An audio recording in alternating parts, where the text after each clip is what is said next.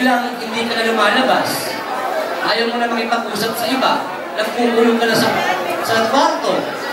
tumatagal siya ng ganun, baka depression na yon. Paliwanag mo ba yon? Kaya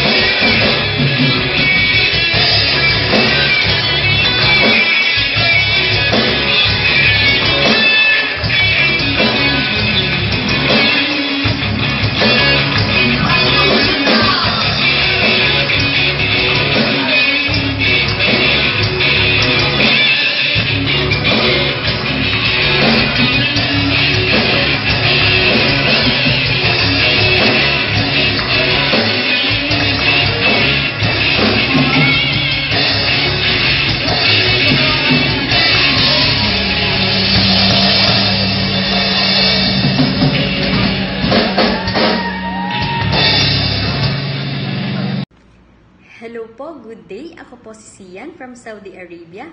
Maraming salamat po sa pagpunta sa tribute concert ng ating kaibigan na si Leandriel Dizon. Ang inyong pong suportang ipinakita ay malaking bagay po ito sa pakikiramay sa mga naiwan niyang pamilya.